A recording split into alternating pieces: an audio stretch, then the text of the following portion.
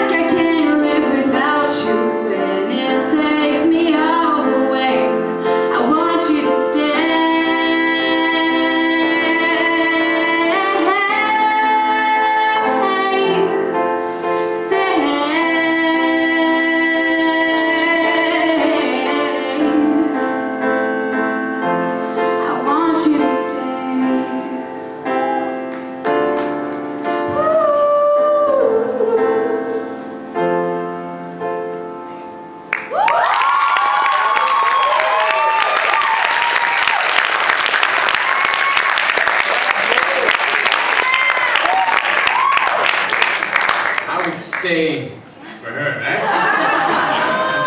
that was very, very talented. And it, ah, just that. Uh, music gets to me, folks. It gets to me.